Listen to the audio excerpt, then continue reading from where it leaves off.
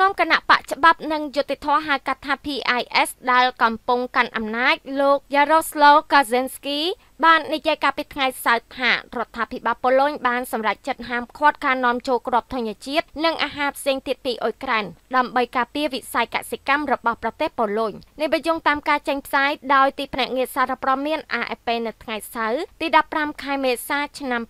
2023បរិមាណដ៏ច្រើននៃគ្រាប់ធញ្ញជាតិអ៊ុយក្រែនដែលកំពុងរាំងស្ទះនៅក្នុងបណ្ដាប្រទេសអឺរ៉ុបកណ្ដាលចំពេលមានបញ្ហាផ្នែកដឹកជញ្ជូនដែលមានតម្លៃថោកជាងផលិតផលដែលផលិតនៅក្នុងសហភាពអឺរ៉ុបធ្វើឲ្យប៉ះពាល់ដល់តម្លៃនិងការលក់ដល់កសិករក្នុងស្រុកនេះវាបានបង្កើតជាបញ្ហានយោបាយសម្រាប់គណៈបកច្បាប់និងយុតិធធក្នុងឆ្នាំបោះឆ្នោតលោក Kaczynski បាននិយាយក្នុងអំឡុងសម័យបក PIS ថាថ្ងៃនេះរដ្ឋាភិបាលបានសម្រេចចិត្តលើបទបញ្ញត្តិហាមឃាត់ការចូលនិងការនាំចូលគ្រាប់ធញ្ញជាតិទៅកាន់ប្រទេសប៉ូឡូញហើយមានប្រភេទអាហាររាប់សិបប្រភេទផ្សេងទៀតពីអ៊ុយក្រែនផងដែរលោកបានបន្ថែមថាបញ្ជីទំនិញទាំងនេះនឹងត្រូវដាក់បញ្ចូលក្នុងបទបញ្ញត្តិរបស់រដ្ឋាភិបាលហើយមានទំនិញពីក្របធញ្ញជាតិរហូតដល់ផលិតផលទឹកឃ្មុំ មានរបស់ជាច្រើនយ៉ាងទោះជាយ៉ាងណាលោកបានសង្កត់ធ្ងន់ថាយើងជាមិត្តនិងជាសម្ព័ន្ធមិត្តរបស់អ៊ុយក្រែនយើងនឹងនៅបន្តគ្រប់គ្រងវាជានិច្ចប៉ុន្តែដើម្បីការពារផលប្រយោជន៍របស់ប្រជាពលរដ្ឋរបស់ខ្លួន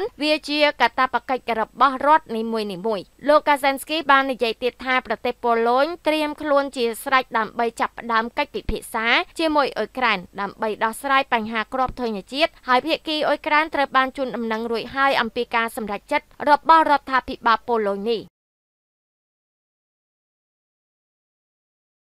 កម្មវិធីនេះឧបត្ថម្ភដោយបូរី Golden Park